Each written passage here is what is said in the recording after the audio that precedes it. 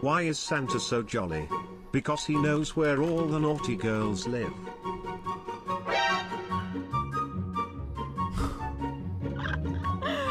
Ho, ho, ho!